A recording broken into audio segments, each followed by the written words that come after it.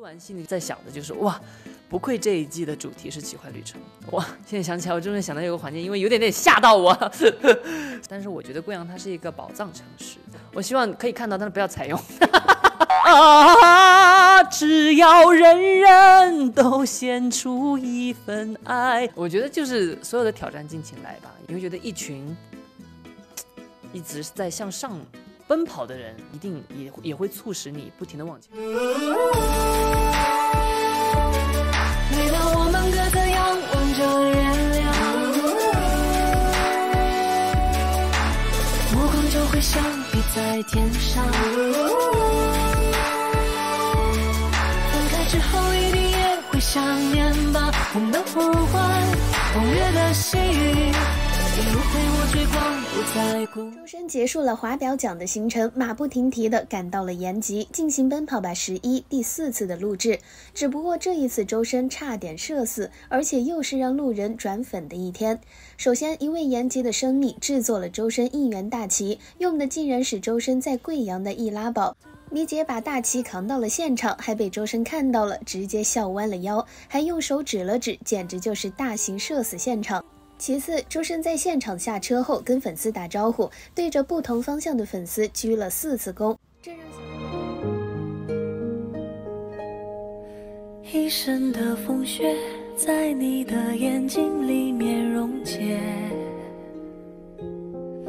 尘封的思念回忆里飞成蝶，不手脚也不伸手，淹没。漫过天空尽头的角落，定格多少？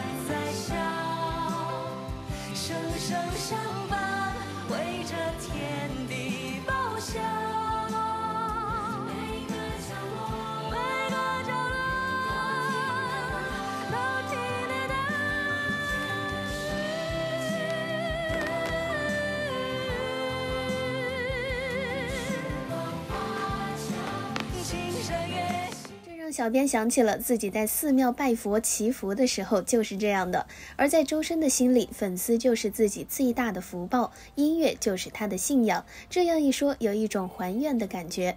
然后在严大录制结束的时候，周深特意两次下车和粉丝打招呼，并且九十度的鞠躬，很多路人粉都很感动。路转粉，不论这一次的路透还是以前的路透，都能看出周深总是蹦蹦跳跳，笑意盈盈，无论对着谁都是。笑着挥手鞠躬，丝毫没有所谓的架子和神秘感，只会用双倍的热情回应粉丝的热情，努力的告诉粉丝：“我看到你了，谢谢你。”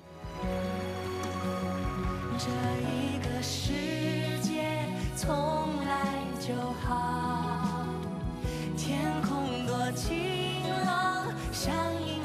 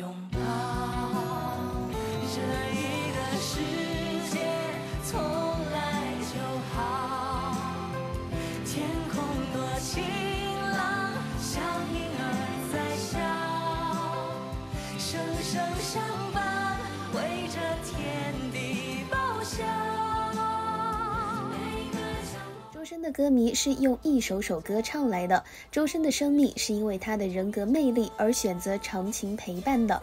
在延吉，他依然真诚不变，时刻让自己开心如太阳，走到哪里都各个方向九十度的鞠躬致谢粉丝，唯一一个连视觉死角都照顾到两次鞠躬的艺人。每一次刷到一个视频，听到里面声音最大的喊声就是周深，为什么呢？因为他真诚，他值得。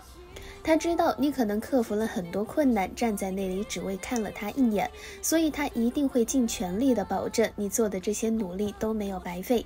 听到喊周深，他会跟你挥挥手，跑到你眼前给你一眼，给你打招呼。已经上车了，但是听到外面有这么多呼唤，又跑下车来挥手鞠躬，双向奔赴的爱，周深值得。周深说过：“如果没有生米的支持，我可能不会留在舞台上唱歌。”可见生米在周深的心中位置有多高。每一个歌手能像周深这样有礼貌地对待每一个喜欢他的人，这是多少年来才让我们见到的独一无二的周深。而如今，他已经成了国家需要的为时代、为国家而歌的歌手。从空灵婉转的治愈之声，到磅礴大气的时代之声，每当重要节日和重要舞台，都有他的身。身影出现，而且从不失误，他已经是一个传奇的存在。所以喜欢周深的每一个，真的都很幸福。你觉得呢？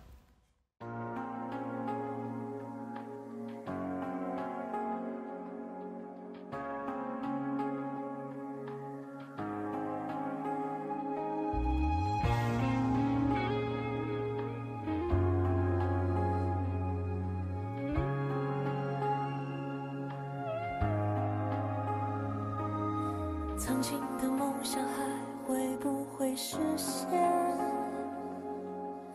或许只是需要些时间。世界每一天都不停的改变，是谁坚定站在你身边？满怀期盼，每一次尝试相见。年轻的心在渴望挑战，繁华的彼岸也不会太遥远。拨开云雾就看见蓝天。